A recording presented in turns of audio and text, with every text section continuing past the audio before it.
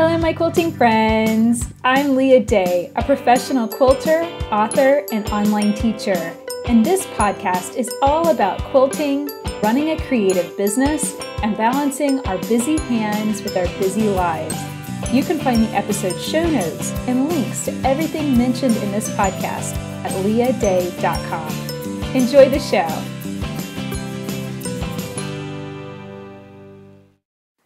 Hello, my quilting friends. Leah Day here with episode 20 of the podcast. And today I'm chatting with Stephanie Kendron, the host of the Modern Sewciety podcast. So you can check out her website at modernsewciety.com.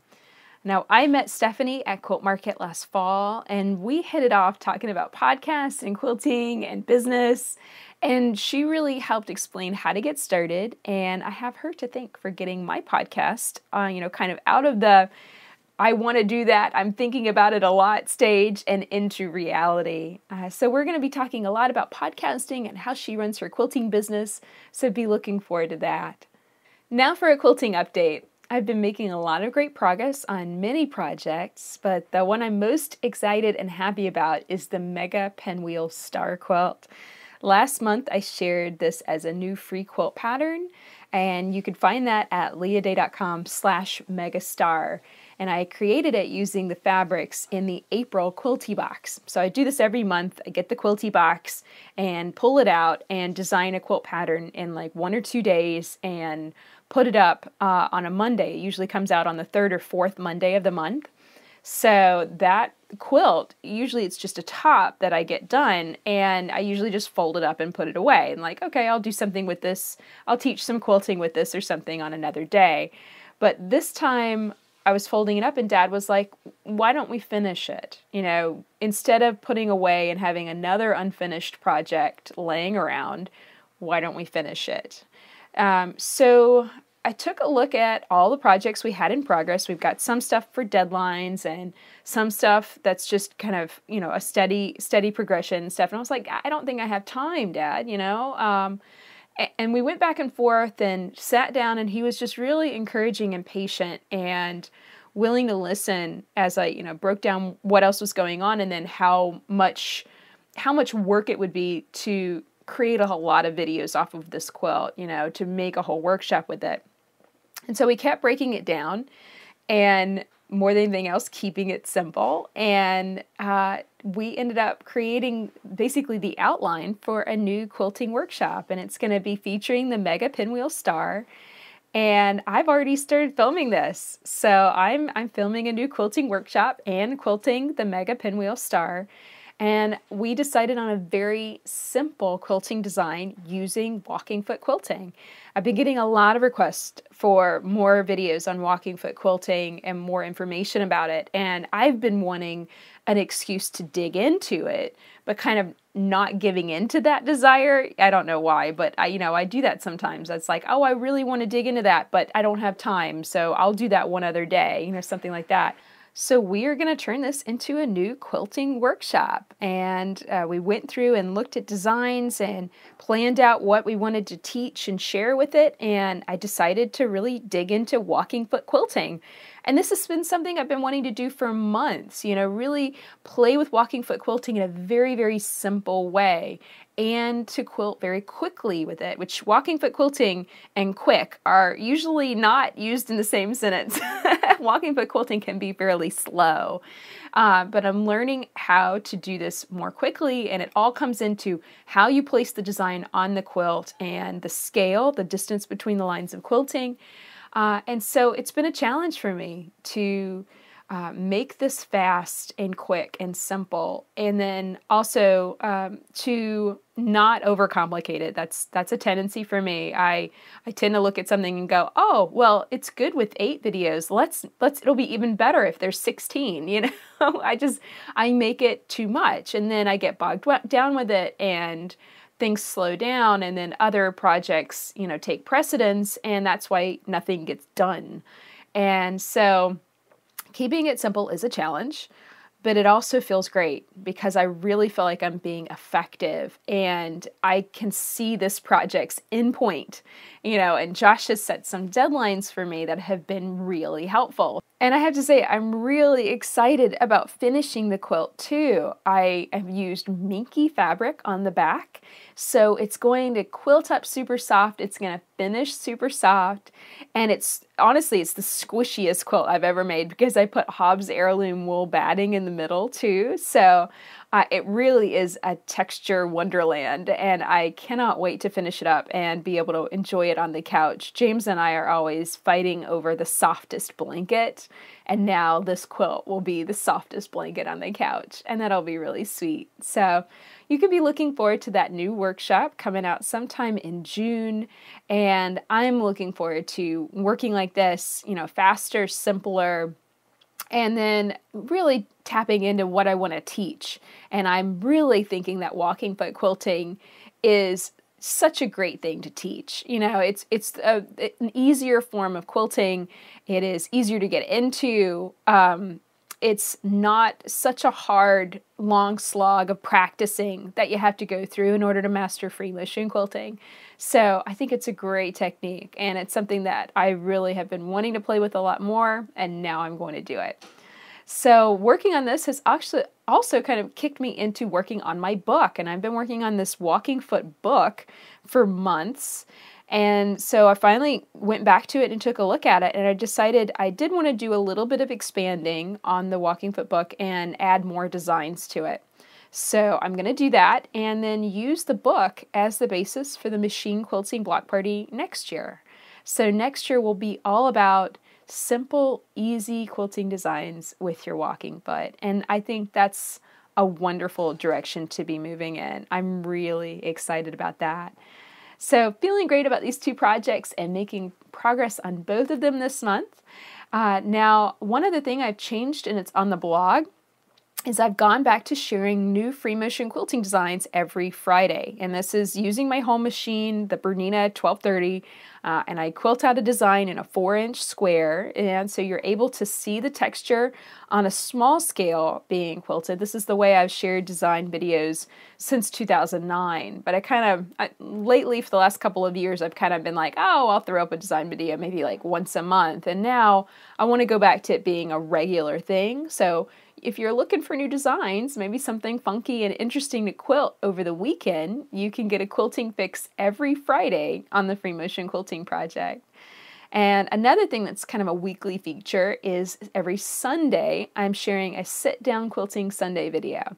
Now, this is quilting on a sit down long arm, my Grace Qnique 14 Plus, and we just hit 15 videos this week. So, if you've been thinking about a sit down long arm and you're curious about it and you want to know how it works and uh, if that can make a difference to your quilting your quilting ability and uh, how you manage bigger quilts, then definitely come and check these videos out.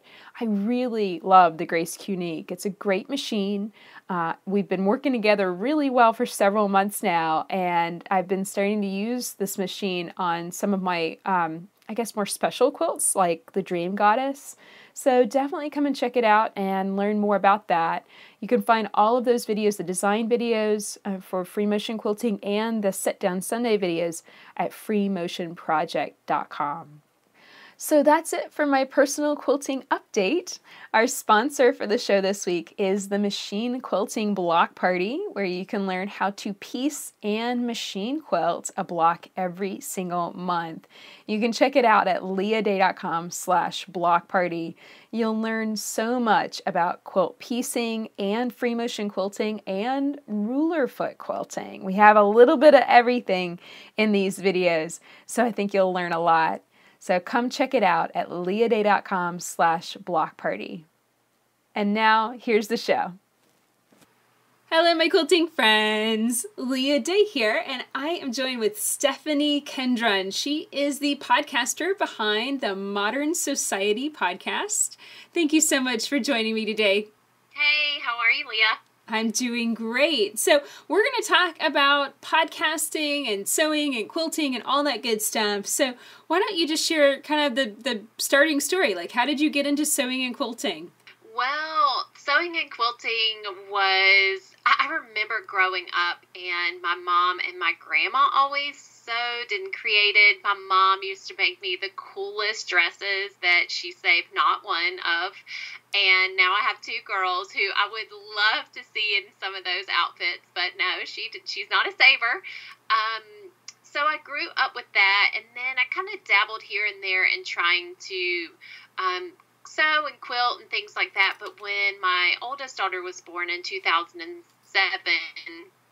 my husband, um, back in the days when the economy was awesome, got a bonus and he said, Hey, you know, here's some money. Go buy something that you really just wouldn't buy for yourself. And I thought, Oh, okay, I really want to buy a sewing machine. So I got just a Singer sewing machine that was kind of basic. It was a little bit elevated from a basic. And that is when blogs kind of started happening and I would just think, okay, I want to make um, a dress for the baby. And I would just search tutorials and the blogs that I read and try and find things that I could do. And there were a lot of failures, a lot of failures. And then I started to kind of get the hang of it and have more successes and um, got some mentors in my life that would come over and help me. And that was kind of the start of my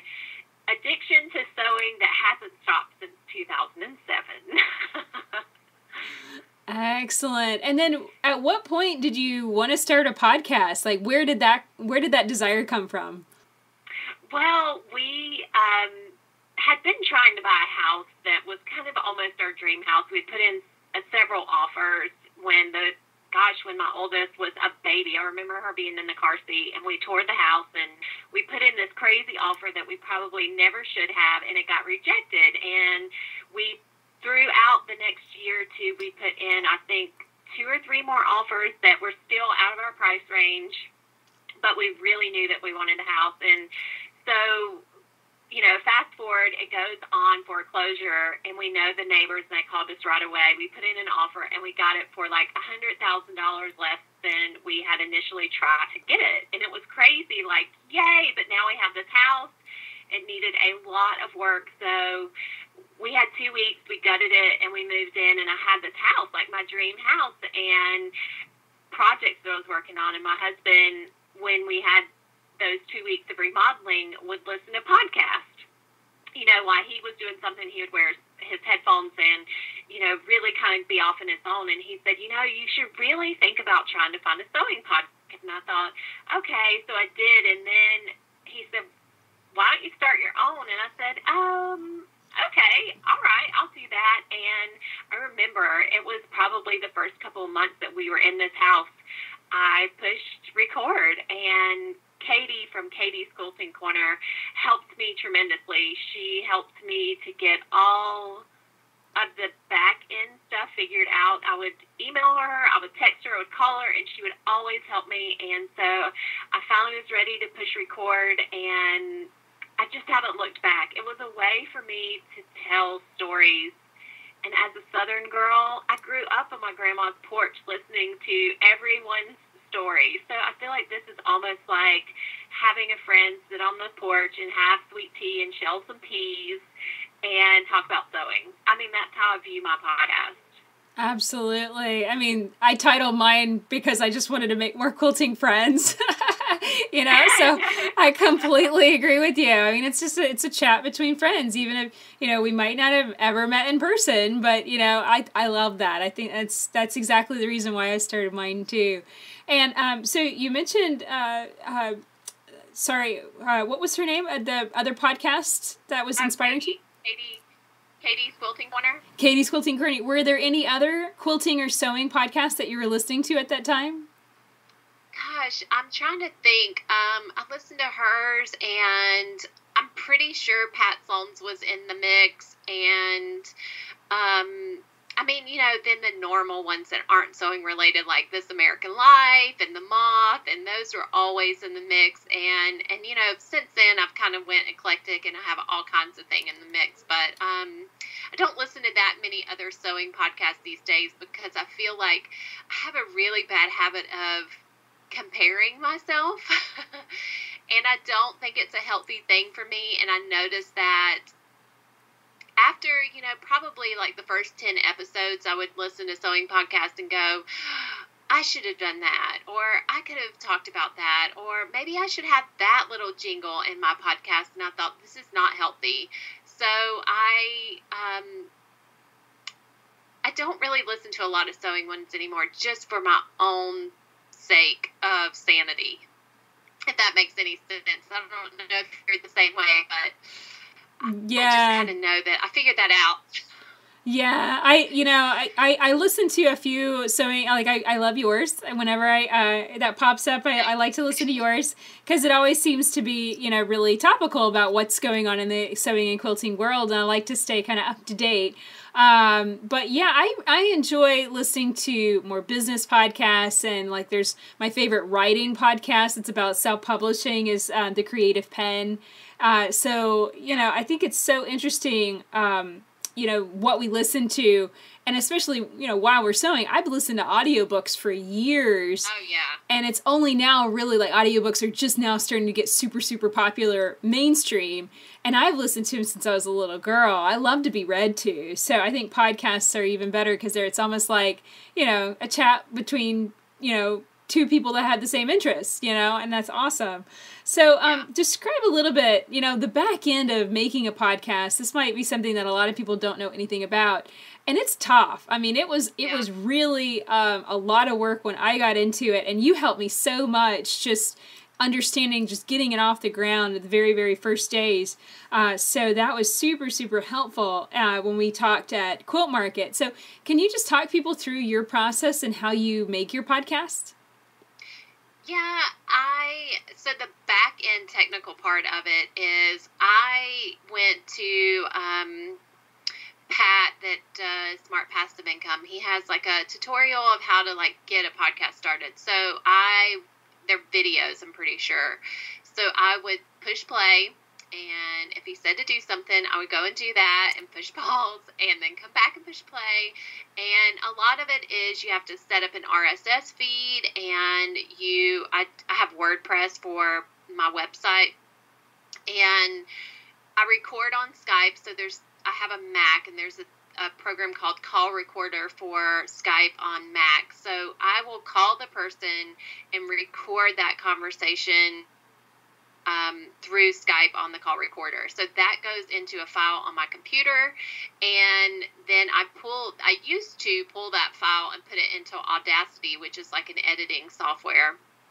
And I would do. I would record my intro, my outro, and stick that recorded call in the middle, and that worked really well for a long time. But I did not enjoy that part, and I'm not going to take out all the costs and the the things like that. That's just not time that I wanted to do. So I had a sweet, sweet listener, Julie. Hey, Julie, and she said, "Hey, my my husband is an audio engineer and he wants to get back into that. And um, he's a Southern guy. You'll love him."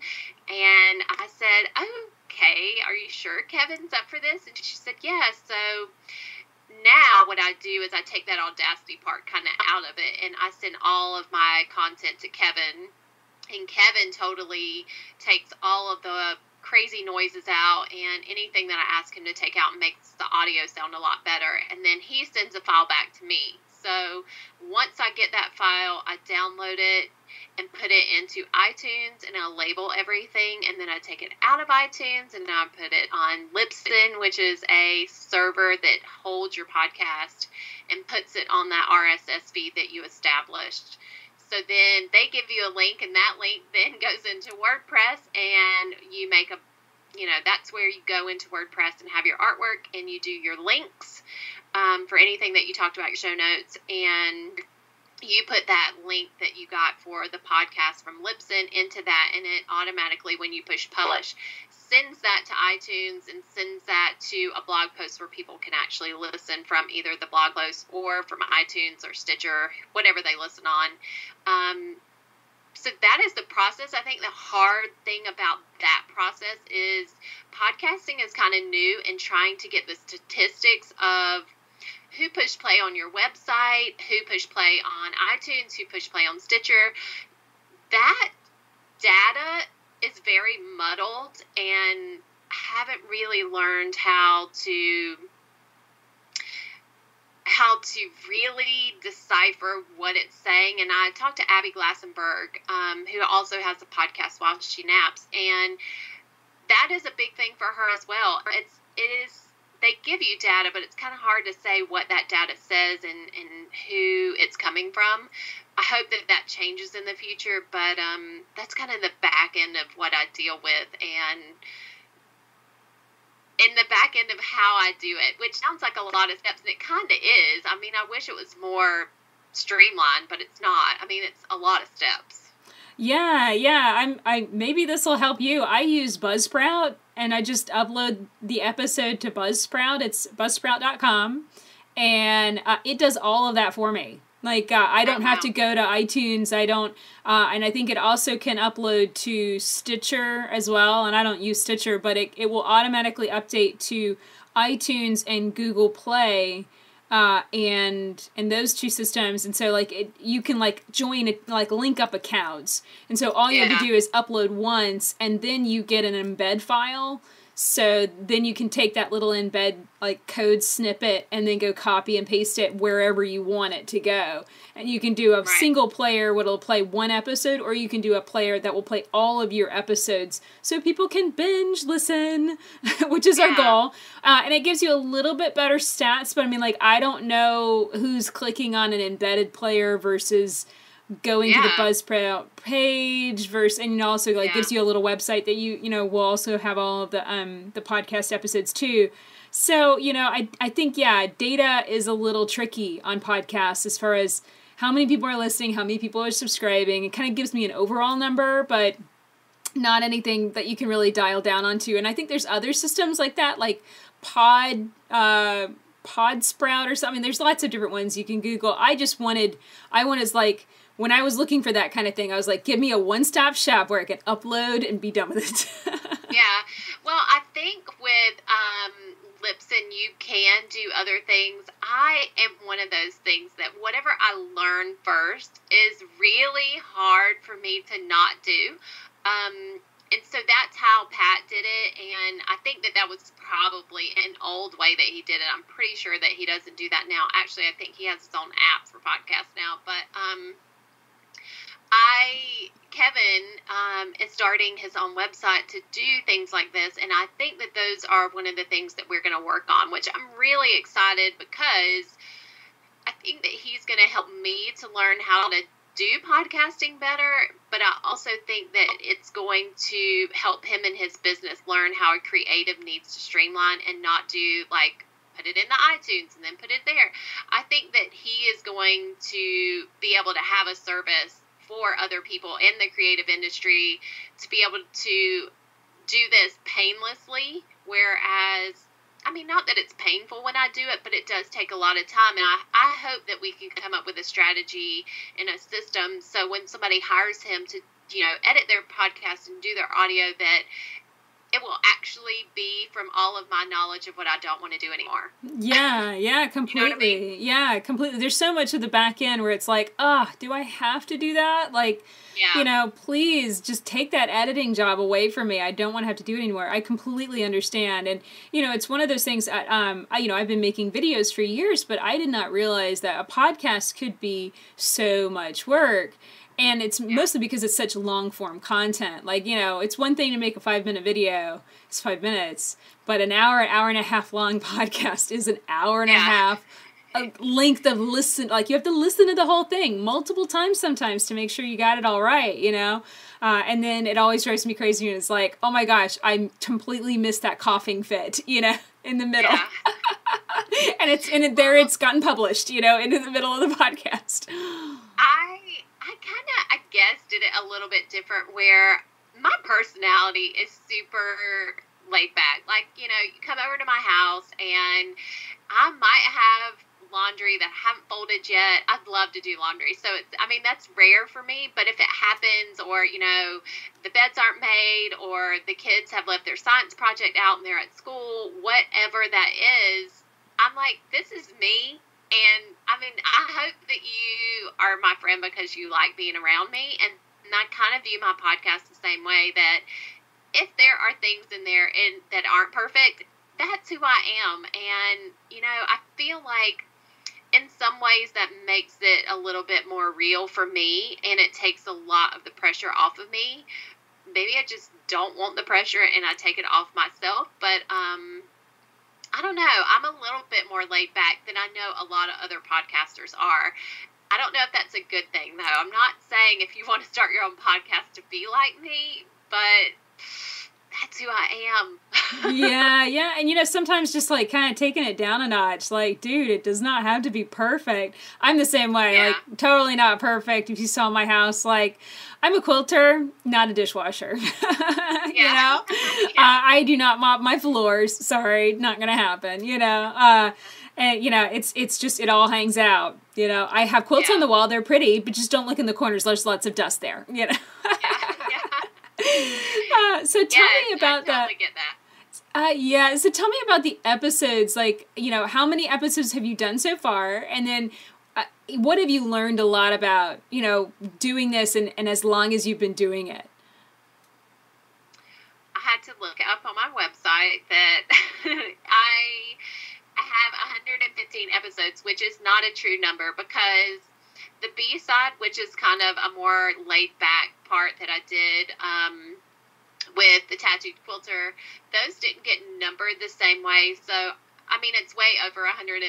I'm probably, I think, around 130, um, which sounds crazy. I remember watching the Pat, the Pat from Smart passive income um, when i was watching the videos of how to start my own podcast he said you know number your podcast with a zero um, like zero zero one because one day you're going to be in the hundreds and you want to leave room. And I thought, can't believe I would ever be in the hundreds. And then I'm like, I'm in the hundreds. So, um, so it's that, and it's a mixture. Some of them are just me. Some of them are true chats with other people, and some of them are just laid back chats like Susie from Susie Quilts and I just had a conversation about our breakdown from Quilt Market and what we thought about it, what we took away from it.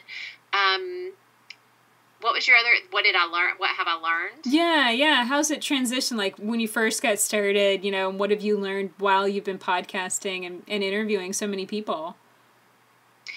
I think I've had one of the things that I've learned that was a mistake is um, I mean, being a stay at home mom is not easy. So if the kids got sick and I had to cancel something and then not following back up with that because, you know, life got crazy and in the way, or, you know, they didn't stay up and, and come back to me, or, um, that has been a really, really hard lesson for me. I actually had one person that I, had to reschedule a couple times, and then they said, you know, I just don't want to do it. It's too, too, this is just too much work. But I had to equal that out with my job was to be a mom. That was it. I wasn't making any money. So I had, you know, that was my full time job. And so that has been a really hard lesson that I've had to learn that I'm not going to make everybody happy and I'm going to make mistakes. But picking back up and going forward has been the best thing that I could do. I hate that I have that negative um, impression on somebody, but I try and change it. If I can't change it, then I have to move forward. Um, some of the positive things that I've learned, I have really learned that I have a voice and actually I have a distinctive voice. I've learned that that many times I'm in a crowd of people and they walk by and they turn around and go, "Stephanie, I listen to you. I know that voice." That is very odd for me. I have always not liked my voice. Um, I remember when I was in elementary school or middle school, and my parents used to move around for their job, and I remember being in Colorado and and getting picked on for this southern voice, and I think that scarred me a little bit. um, but that is one thing I've noticed, and I will say I have learned how to have a conversation with pretty much anyone. I can talk to you in the grocery store about how the weather is. I can talk to you on the podcast about how sewing is. I can talk to you about business. I feel like my passion for having a conversation is so different now than it was in the end. Does that make sense? Oh, completely. Yeah, yeah. You want to connect. It's like yeah. connect with me. Come on, connect with me. Yeah, no, I completely, yes, yes, I, I, completely get that. You know, and and uh, and uh, I understand also my my kind of rule with podcasting when I have trouble connecting with someone is three strikes you're out. You know, and that's three strikes for me and three strikes for that other person. It's like, you know, three strikes, you know, I just can't connect with you. Maybe I'll give it. A, I will give it six months. You know, it's kind of yeah. the rule yeah. that I'm giving it, and and so far that's worked out pretty well. Uh, it's not perfect, and I don't want to hurt any feelings, but at the same time, you know, we're busy people, you know, whether it's yeah. taking care of our kids or you know, you know, getting work done or whatever. Uh, you know, it's it's time on both sides. You know, it's the person that you're interviewing yeah. and it's you too. So, um, what's the most exciting conversation you've had so far with with chatting with all of these quilters and sewists? Gosh, you know, I mean, I think my favorite conversations um, have been the ones where people really open up and surprise me when I ask them a question. I mean, a lot of people are not used to talking about themselves. Um, I do get that. I feel like a lot of us spend a lot of time, you know, in our sewing area with our families and not not that all of us are introverts, but I feel like we really love that quiet time of sewing. Um, it's almost like our Zen moment. So to talk about that is sometimes hard. The favorite conversations are always the ones that you know when they just come out of out of the gate with um, their story and that is why i do the podcast i love stories i love learning other people's you know life story why they came to sewing. And um, melody miller was just on a podcast. Um, that that was I mean, I was excited to have Melody Miller, of course, from Cotton and Steel on my podcast, but when she opened up and said some of those really personal and private things, that to me was just like I loved it. It was it was a snippet into some of the things that you would never hear about her because I mean, that's just not something you put on your blog, you know what I mean? But in a conversation, it's totally natural and normal. And I think it really helps other people to see we're all human. We're all human. So when people open up on the podcast, I feel like it totally normalizes a lot of the listeners' lives, you know, and makes them connect a lot more to that person. Yeah, absolutely. Absolutely. You know, and that that's the thing. I think a lot of people are more comfortable saying something than they are writing it. Um, I, yeah. if you read my about me page, I just gone ahead and let it all hang it out, you know, and just going ahead and put it all out there. But you know, it's one of those things. I think everybody has to kind of go with their own comfort zone. So that's really cool. And uh, has anything surprised you as you've done podcasts? You know, like, you know, just the process of, of becoming an interviewer really surprised me. You know, I've made videos and stuff and I, you know, I've done tutorials and it surprised me that being an interviewer, the person asking the questions was a totally different skill set. Did that surprise you? Yeah, I think that part came so natural for me where I mean, I, I guess I'm just a naturally curious person. I mean, I guess I didn't put in the part of why I started the podcast was, you know, I picked up these fabrics and I and I had a sewing machine and um and I thought, but what is the story behind this? Like, why did this person decide to put all these images in the computer and make fabric? Wait, but how did how do fabric manufacturers even make fabric? Like, how is that process? How does somebody even get a fabric line?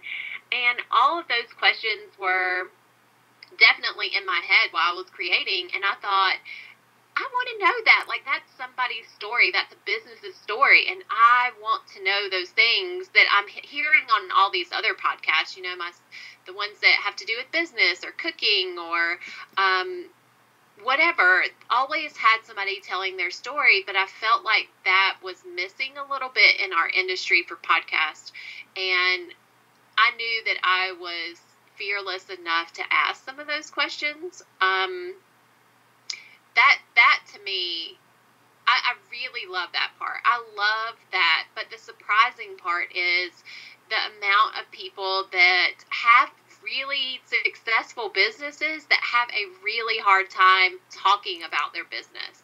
You know what I mean? Like really talking about that passionate thing that they do every day. They do it for a reason, but I think some people have a really hard time talking about that reason. And I want to relax them enough that they get it all out. Absolutely. Yeah. I mean, sometimes that can just be like talking about business, and some people are a little Yeah. uncomfortable about that. You know, like, hey, if you're in business, you're making money. You're usually in it to make money, and that's not that's not a crime. That's okay. It's Yeah. a okay to make money, uh, especially doing something that you love. Uh, I think Yeah. that's really really rewarding. And you know, speaking of that, what is your goal with your podcast? Are you are you building a business, and and how are you going about that? For a lot of podcasters, we love the idea of chatting with other people and telling stories and getting information out there. I think the hard part once you get into it is knowing that podcasting started out being free, so it's never going to be accepted to charge. Um, you know, and I and I in the sewing industry feel like so many things in the sewing industry are free, free tutorials, free this, free that. Content is out there, and it's really hard um, when you charge for things. Podcasting is one of those things. Even advertisement in this industry is really hard for the podcast because it's such a new form of media that and, and and going back to those stats, you know, I mean, how do you tell someone when you really don't know yourself what those stats mean? Because I mean, they're so generic. Um, so my goal, I know my like I, I really did want my podcast to be the money maker, but then I really decided it's not going to happen that way. But I feel like my podcast is always going to be a part of my business. I'm changing my focus right now and having the money part come from somewhere else and have the podcast still be my free element. Um, that's been a long three road, three year road. I mean, I didn't just come to that, you know, in the last day. I'm realizing that I love the podcast. I don't want it to go anywhere. I don't want to have to charge people. So the future for Modern Sewciety, I think, will be um, using the podcast in where I share those chats with you, maybe not so much personal information in the intro, using my newsletter to share those things that are happening in my week as they come, and then using my website to build content. Um, and Instagram will kind of feed all three of those. That has been a lot of thought on my on my end. What do my listeners and my followers want from me, and how can I deliver that in a way that I feel like I'm doing it for free, which is not working. that you're I mean- actually being supported doing this. yeah. Yeah. Yeah, and my and my listeners are amazing. I have T-shirts and I have pledge drives and I have an Amazon button on my on my website. I mean, I get a revenue through all of those things. It's just not sustainable in a very consistent way. Um, so consistency is one thing that I have to work on. Um, Leah said in um, the interview for my podcast, she was like, I can't say consistency enough. And Angie from Gnome Angel is saying the same thing to me, and Krista from Krista Quilt says the same thing. So I think that I am having to, I'm learning as a business person who I want to be. And I feel like the last three years have really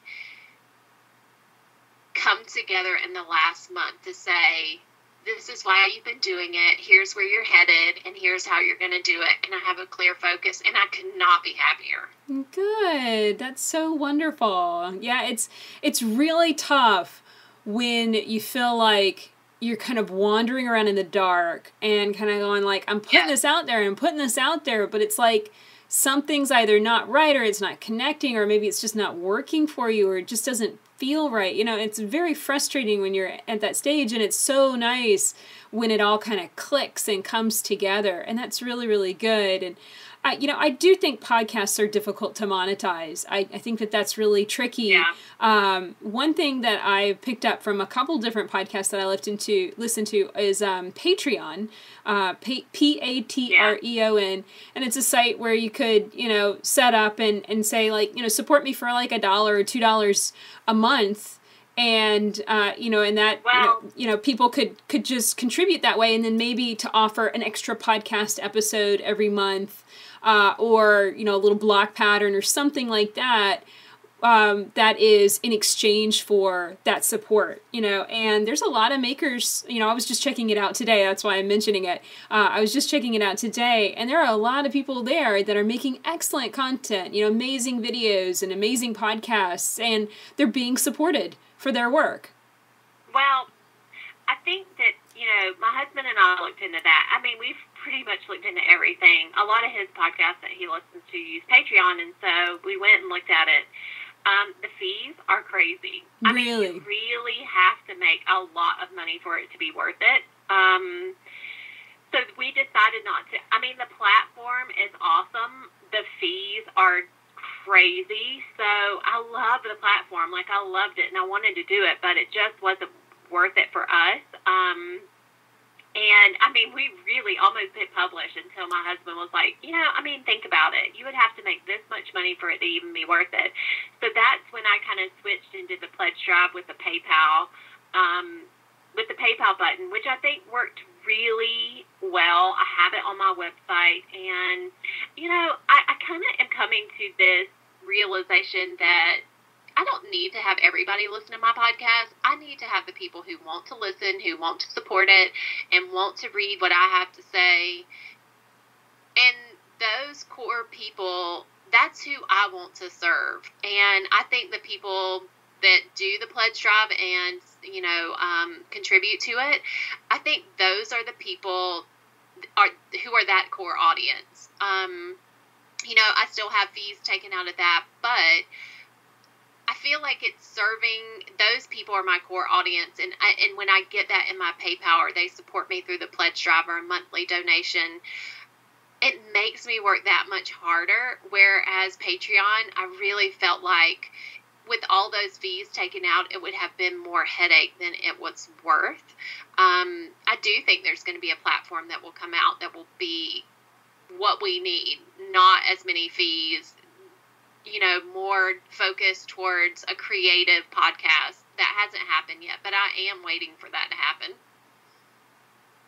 Yeah, that makes sense. You know, I, I was just, you know, kind of glancing through it and that actually really surprises me and it's kind of like, oh, okay, you know, like I'm now going to go like read the read the fine print a little bit better this now now. And it's so funny, you know, uh, sometimes when you glance at something and kind of like fly through it or you know, even someone just listening to a podcast uh, or reading a blog might think, you know, oh, that, you know, that's so simple or that seems so easy. And it's there's so much work behind it. So many hours and hours of work uh, to put that out there. So um, I, I'm so glad to hear that you are being um, you are being paid back in some way, and I and I hope oh, yeah. that that continues to improve and increase. Tell me what you're looking forward to. Like, where do you want to go with this and grow in the next five years, and what you're most excited about? you know, my vision is changing more than um, I, I, guess I expected. In the last month, things have just become really clear. I started this podcast from my new house. It was, you know, my dream. It was our dream location. I mean, um, and I and I was so excited about all the different projects and things like that. I kind of want to get back to that. Um, I love to quilt. That's something that I always love to do. But I also like to make garments. I also like to make things for my house. Um, so I think I'm going to go back to that initial really lifestyle ish um, way that I approach my sewing. And the podcast isn't going to go away. I mean, I think that those are discussions I want to have in my life for as long as I can. I love talking to other people. Um, but I do wonder, and, and it's it's funny. I do wonder if I will podcast in another way while I have this one, I love podcasting. Uh, I love talking to people. So I wonder if that's not, I wonder if the future doesn't hold a totally different podcast, maybe for a company that I love, um, maybe for I, I, don't know. I don't know what that looks like, but I, I see that it keeps coming up when I when I pray about it and when I really you know ask my inner self what is the future. I wonder if that's not going to be in it. I don't know what that looks like, but um, you know, doing that transition. I think the future of Modern Sewciety is really thinking about my listeners and my readers and what they love from me and giving them more of that and what they don't want from me, you know, kind of cutting that part out. I'm up for that. I'm up for that challenge. I think the last three years have been really good for my soul. I think they've taught me a lot about myself, who I am, who I want to be, what I want to contribute to this world and I'm really excited. I'm really excited about what the future holds. I really think it's only going to get better and more focused around Modern Sewciety, which is so exciting. Excellent. Wonderful. So let everybody know where they can find you online and where they can find your podcast. I am at modernsewciety.com and I'm pretty much Modern Sewciety on all of my platforms on Pinterest, on Instagram, Facebook, Blog Lovin'. Um, I'm on I'm Modern Sewciety on all of those, so you can come check me out. I post on Instagram a lot of things that um, are behind the scenes. I kind of like to share the real life of things, and also my sewing adventures. Um, the podcast is where you will hear me chat and with people in the industry.